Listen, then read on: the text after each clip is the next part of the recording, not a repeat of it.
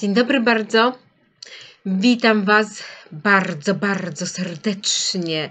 Dlaczego? Bo jest poniedziałek, a jak wszyscy wiemy, poniedziałek to jest taki dzień tygodnia, w którym wszystko zdarzyć się może. I to jest bardzo dobry dzień tygodnia dla tych, którzy muszą mieć jakąś wielką datę na zmiany, na przemiany i na to, żeby ruszyć z czymś nowym.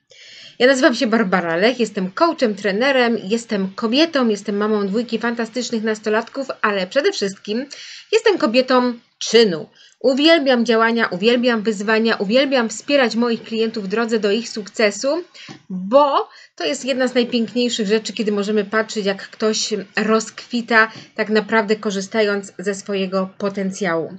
Zajmuję się tematem pewności siebie, ponieważ on towarzyszy nam właściwie każdego dnia i bardzo często jest też fajną wymówką. I dzisiaj będzie właśnie o tym. Ok, ale żeby nie było, to tradycji się musi stać zadość, czyli idzie klaps. Poniedziałkowy klaps. Oddzwaniam, że początek tygodnia. Więc jak się ktoś jeszcze nie obudził, to teraz, moi drodzy, to jest ten moment, kiedy otwieramy oczy szeroko, uszy nastawiamy na słuchanie, mobilizujemy się do działania. Kto jeszcze nie pił kawy, to polecam. Bardzo dobra, bardzo lubię y, i jestem już w pełnej gotowości. Powiem Wam, że ostatnio to mi się tak cudownie wstaje w poniedziałki, ponieważ tak uwielbiam się z Wami spotykać, że się zaczęłam zastanawiać, czy nie powinnam przełożyć tych poniedziałków na jakąś wcześniejszą godzinę, bo ja już tu później siedzę i przez 40 minut czekam na 8.15, y, mając pełno energii i pomysłów już. No dobra, to słuchajcie, dzisiaj będzie o tej pewności siebie.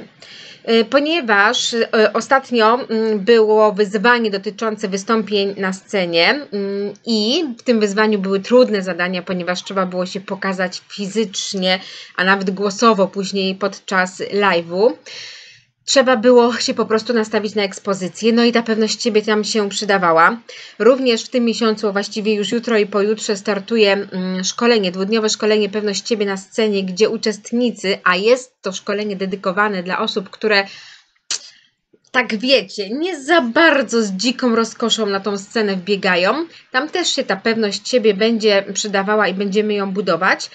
No i w codziennym życiu ona nam się też przydaje w różnych aspektach, bo to i przecież y, w asertywności osoby pewne siebie częściej są asertywne, potrafią odmówić mm, i w dążeniu do działania, do celów i w realizowaniu swojego potencjału, marzeń, fantazji, po prostu celów, mm, ta pewność siebie jest przydatna. Słuchajcie, ostatni miesiąc, marzec, znaczy ten w sumie, ojej, dopiero dzisiaj 18, ja mam poczucie, że on się już skończył dawno, ponieważ tyle się działo. Miałam bardzo dużo wystąpień, bardzo dużo szkoleń, bardzo duża intensyfikacja tego wszystkiego, więc y, z mojej głowie po prostu jest informacja, że wow, wow, to już ten marzec na pewno jest zakończony, bo tyle się w nim działo, ale to nieprawda, on trwa. Natomiast yy, kiedy rozmawiałam z kobietami po tych moich wystąpieniach, to, była, to były najczęściej wystąpienia dotyczące pewności siebie, mm, to było pewność siebie oparta na faktach, to bardzo często kobiety do mnie podchodziły i mówiły tak. Uwaga. Och, ja też jestem coachem i też bym chciała tak jak ty, ale nie mam takiej pewności siebie. Albo ktoś podchodził i mówił: Och, Basia, tobie to wszystko tak łatwo wychodzi, ale ja nie jestem tobą nie jestem taka pewna siebie. I tak dalej, i tak dalej.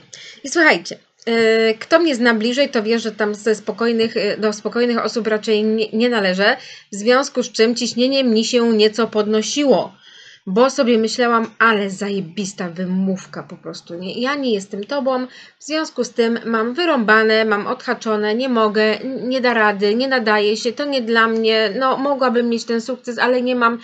O! Wiecie o co mi chodzi? O to, że pewność siebie, słuchajcie, to nie jest coś, co my dostaniemy któregoś dnia po przebudzeniu. To nie jest coś, co możesz wsadzić pod poduszkę i rano się po prostu obudzić przeniknięta pewnością siebie. To nie jest coś, na co wpadniesz. To nie jest coś, co się stanie od tak. To jest proces. To jest proces, który wymaga wychodzenia ze strefy komfortu, który wymaga minimalnego lubienia siebie i tego, że jesteśmy skłonni przyznać, że możemy zbudować tą pewność siebie. I to, co mnie absolutnie doprowadza do szału, szaleństwa i w ogóle szewskiej pasji, to jest to, jak ktoś mówi, ale wiesz, to będzie trwało. Mm, no, będzie trwało. Jak jesteś w ciąży, to to też trwa, zanim urodzisz dziecko. Trwa to 9 miesięcy, nie wiem ile to jest dni, ale w pierony i zakładam, że gdyby ktoś podchodził do tego tematu w taki sposób, to by się w ogóle dzieci nie rodziły, tak? Że to będzie wymagało e, czasu, to będzie wymagało dyskomfortu e, fizycznego, psychicznego, a potem to już w ogóle jest e, high life, tak? Jak już to dziecko urodzimy. I tak samo jest, słuchajcie, z tą pewnością siebie, identycznie, tak? To jest jajko, które trzeba znieść, to jest jajko, które trzeba pielęgnować, to jest coś, nad czym musimy pracować. Dajcie znać, czy jesteście, słuchajcie. Bo wiecie, ja tutaj wpadłam w wir y, swojego, y, swoich przemyśleń i dzielenia się tym, bo naprawdę jestem irytowana y, tym takim pieprzeniem o niczym, że ja to mam, a, a ja to nie mam, w związku z tym ty to możesz mieć, a ja to wiesz, biedna jestem i poszkodowana a nie będę przecież pracować nad tą pewnością siebie, bo szkoda życia, szkoda czasu i tak nie wiadomo, czy się to uda i czy po tej pracy, którą włożę, to ja będę mieć tą pewność siebie.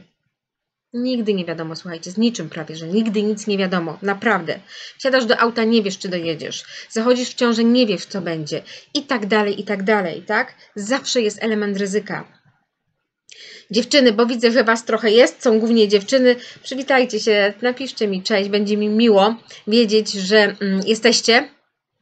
Dajcie też znać, czy Wy budujecie tą swoją pewność siebie yy, i jak to robicie, bo jestem tego bardzo, bardzo ciekawa. I słuchajcie, Przede wszystkim popełniamy trzy podstawowe błędy z mojego punktu widzenia, tak? Y, siedzimy i mm, programujemy się negatywnie. Tak, to są te hasła, które słyszałam. Ja się do tego nie nadaję, ja tego nie mam, y, nie, u nas nikt nie był pewny siebie, to jest za trudne, ja tak nie umiem, ja nie jestem tobą i tak siedzimy i mędzimy, tak? Y, I oczywiście, co robimy w ten sposób? Programujemy się. I zamiast wzrastać, rozkwitać, otwierać klatkę piersiową, to jesteśmy coraz to mniejsi, coraz to mniejsi, coraz to mniejsi i po prostu za chwilę to już w ogóle sobie myślimy, taka jestem do dupy, że już w ogóle nic nie będę robić, tak? Do niczego się nie nadaje. Chociaż to nie tym tonem, tylko takim bardziej, wiecie, dla mnie nienaturalnym. Ok? Więc przestań pieprzyć sobie w głowie głupoty. Dobra? Bo to dokładnie do niczego cię nie doprowadzi, a właściwie dokładnie do przeciwnej opcji, tak? Zamiast pewności siebie będziesz miała poczucie mm, tego, że się do niczego nie nadajesz. Po drugie, siedzimy na tyłkach i nic nie robimy, tak? Czyli siedzimy i myślimy, to jest właściwie połączone z punktem pierwszym, tak? Że a, co się będę ruszać, jak nie wiem, czy to się uda. I to bardzo często słyszę na sesjach i powiem Wam, że to jest straszne, ponieważ jeżeli Ty myślisz i siedzisz, to naprawdę nigdzie nie dochodzisz. Bo jeżeli nie dość, że siebie programujesz negatywnie, to jeszcze do tego wszystkiego osadzasz się w tej czarnej dupie i naprawdę zaczynasz się w niej mościć i opowiadasz mi z pasją czasami, jak to tam jest strasznie i jaka to Ty jesteś biedna i jakie to masz podgórkę i jakie to trudne dzieciństwo i, i jak Ty to tam masz i dlaczego Ty nie możesz, to ja Wam powiem szczerze, że pomimo całej miłości, serio, dla ludzi, y, ja nawet nie wchodzę w takie procesy coachingowe. Bo czasami komuś jest tak dobrze tam, że on wcale nie chce nosa wyściubić i często też na takich sesjach wstępnych, bo to najczęściej mówimy o sesjach wstępnych, bo dalej nie zajdziemy, czy dalej po prostu procesy się nie odbywają, to jest przekonywanie mnie, że ja to nie wiem, o czym ja mówię, ponieważ ten ktoś ma tak źle jak nikt na świecie, tak? I to jest udowadnianie mi, że on nie da rady. Sorry. Wyleczyłam się z wyciągania ludzi za uszy na siłę, bo to nic nie daje, zwłaszcza coaching nie do tego służy, bo w coachingu to klient pracuje na swoich zasobach. Ty musisz uwierzyć, że możesz i wiedz ode mnie i od innych osób, które to zrobiły, że to jest droga. I wcale nie jest to taka lodowisko płaskie i w ogóle, tylko wyboista, skręcająca, robiąca po prostu różne dziwaczne rzeczy, utrudniające nam dojście do naszego celu. I tak, to tak jest, jak ta marchewka, tak? Kiedy dochodzimy do pewnego etapu, to się okazuje, że dalej jest coś jeszcze ciekawszego i że dalej idziemy. Ale to tak samo jak z tym dzieckiem, słuchajcie. Pragniemy mieć dziecka, zachodzimy w ciąży, nosimy brzuch, jesteśmy szczęśliwe, rodzimy to dziecko, mówimy wow, nareszcie jesteś, no to teraz już będzie. No i teraz już jest. Mam dwójkę, to wiem o czym mówię, słuchajcie. Nie? I teraz każdy tydzień, każdy dzień, każdy miesiąc, każdy rok to są kolejne wyzwania, kolejna nauka, kolejne doświadczenia. I tak samo jest z budowaniem pewności siebie. No i trzeci błąd, już ten kompletnie karygodny, to jest to, że wszyscy, no dobra, przesadzam, przepraszam za generalizację, że czekamy na cud. Tak? Wiele osób mówi, no wiesz, ja Basia czekam, może to się kiedyś stanie, tak? Może ja kiedyś po prostu będę pewna siebie. Wiesz, kiedyś to ty możesz przytyć, nie? Albo z ręką w nocniku się obudzić, ale ja nie wiem, czy to się tak wydarzy, że od samego myślenia o sobie, e, że jestem do bani, siedzenia tyłkiem na kanapie, to ty po prostu e, wysiedzisz taki cud, że się obudzisz powiesz, wow, idę podbijać świat, jestem pewną siebie kobietą. Jak tak się stanie, to do mnie daj, e, daj mi znać, tak? Napisz do mnie. Słuchajcie, ja znam tylko jeden cud i go stosuję od lat. A cud ten brzmi: czas unieść dupę. Po prostu. I, I ta pewność siebie, słuchajcie, to jest bardzo ważna rzecz, ponieważ to jest stan, który w sobie mm, wypracowywujemy, stan, który nam pozwala y, dokonywać rzeczy, na które mamy ochotę, dzielić się naszymi talentami z innymi osobami, y, korzystać ze swojego potencjału, realizować siebie, wspierać innych, pozwolić, żeby nasza firma rozkwitała i wzrastała i tak dalej, i tak dalej. Jesteście jeszcze? Pokiwajcie, jakieś serduszko albo coś. Mm, ale słuchajcie, to wymaga po prostu pracy. I to, co Wam dzisiaj chcę przekazać, to jest to, żebyście mm, nie mówili o tej pewności siebie jak o nie wiadomo kim, nie wiadomo czym, tylko żebyście wybrali sobie jakieś obszary do pracy, ponieważ Pewność siebie budujemy w obszarach i tak jak wielokrotnie powtarzam, tak znowu powtórzę, że można być pewnym siebie w jednej dziedzinie i niepewnym siebie w innej dziedzinie. I to nie ma nic wspólnego z poczuciem własnej wartości, bo poczucie własnej wartości jest jedno. Czyli jeżeli ja je mam, to je mam. I wtedy, kiedy pięknie parkuję tyłem kopertowo na styk, i wtedy, kiedy wypełniam formularz, a pani w, w, biurze na mnie krzyczy prawie, że co ja tutaj w ogóle powpisywałam, to wszystko jest źle wypełnione, tak? I wtedy ja się nie czuję pewna siebie, ale moje poczucie własnej wartości nie spada, tylko mówię, ok, dobrze, to proszę mi pomóc to wypełnić, bo ja nie ogarniam formularzy. I uwaga, jeszcze jedna rzecz, to, że nie ogarniam, to nie znaczy, że jestem głupia, że się nie nadaje, że jestem beznadziejna i że coś, tylko to oznacza, że to mi jest na grzyba i ja nie mam zamiaru marnować czasu po to, żeby się uczyć, jak się wypełnia tabelki czy robić jakieś formularze.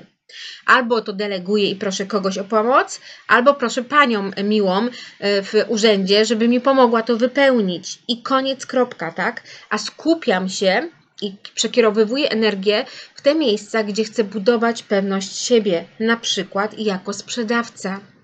I mam rozpisane konkretne kroki, mam rozpisane konkretne działania i je robię, pomimo, że wychodzi różnie i pomimo, że to jest dyskomfortem i pomimo, że to nie jest coś, na co się cieszę, jak, jak labrador po prostu widzący kawałek jedzenia, tylko robię to. I powiem Wam, że naprawdę przyjdzie taki dzień, kiedy ja przed Wami stanę i powiem, jestem świetnym sprzedawcą. Na razie mogę powiedzieć, że jestem całkiem dobrym sprzedawcą. I to też ma związek z tym, że w ostatnim czasie zintensyfikowałam działania w tym kierunku, zaczęłam to rozwijać i naprawdę czuję się w tym coraz lepiej. Więc wybierzcie obszar do działania, rozpocznijcie działania. Jak się potkniecie, to podnieście, oczepcie kolanka i dalej do przodu. I ten jeden cud, który naprawdę działa, to czas unieść dupę. Ok? Ok.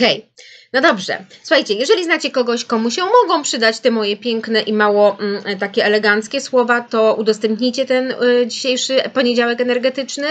E, albo mm, zaproście kogoś na grupę Czas na Efekty, bo tam się będzie za niedługo odbywało kolejne wyzwanie, początkiem kwietnia i to będzie wyzwanie związane z topieniem marzanny, czyli naszych też niekoniecznie wspierających przekonań. E, a dzisiaj jeszcze Wam mam do przekazania, że jeżeli ktoś nie był na webinarze 6 kroków do udanego wystąpienia publicznego, a chciałby go jednak zobaczyć, to można go kupić u mnie na stronie za 50% ceny, czyli za 18 zł i 50 groszy do 20 marca. A potem będzie on w cenie już normalnej 37 zł. I no i oczywiście, jeżeli ktoś z Was rozważa e, zdobycie pewności siebie na scenie i chce wziąć udział w takim naprawdę cudownym, mindfulnessowym e, szkoleniu dwudniowym, to kolejna edycja będzie w maju, 18-19 maja, bo ta marcowa, jutro startująca, już ma full e, miejsc zajętych, ponieważ to są edycje na małe ilości osób, takie 10 osób na sali i bardzo mocno pracujemy nad no, nad takimi fajnymi rzeczami. Myślę, że będę Wam rzucała w tym tygodniu sporo informacji dotyczące y, tych tematów, więc będzie się można mm, ogarnąć, czy ktoś ma potrzebę, chęć i chce na przykład popracować i dopracować swoją pewność siebie w kierunku wystąpień publicznych. Słuchajcie, bardzo Wam serdecznie dziękuję za dzisiaj. Ściskam, przytulam, buziaki posyłam. Bardzo proszę o to, żebyście e, napisali, co zabieracie dla siebie. Ada już napisała, że zabiera czas umieść dupę.